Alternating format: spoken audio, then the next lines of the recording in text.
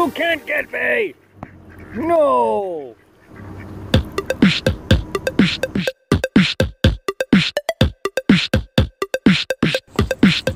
I'm getting run out of town by this thing.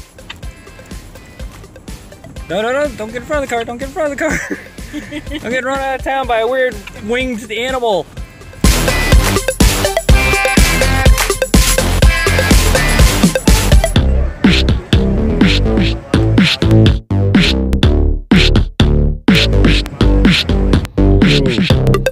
You're a weird one, Mr. Moss. You're a weird kind of kitty.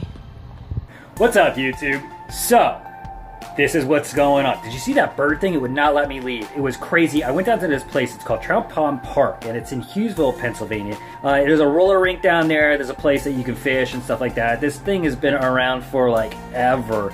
So I just went down there because, you know, I haven't seen it since I was a little tiny guy. So I was uh, blowing through there, and the ducks will surround your car. And if you stop at all, you're stuck. You're stuck. You don't want to commit some kind of weird bird murder or something like that, especially right there at a roller, you know, a roller skating rink where there's tons of children. So you're trying to get around these things, and then that weird bird just came out of nowhere, all crazy, like yeah, the crazy eyes, man, just crazy eyes. And then he didn't stop until like I got to the connecting road and left. Like he was behind the car the entire time. It was just crazy.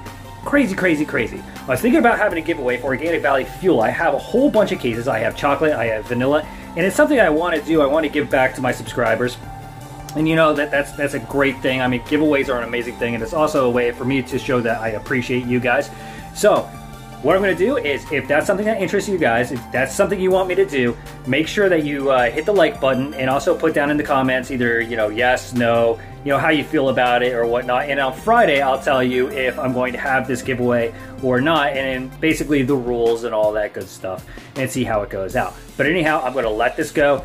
I'm gonna make this really short. It's gonna be super short, super short, but I'll see you guys on Friday. Make sure you go out there, be positive, live life, and go on an adventure. I will see you guys on Friday.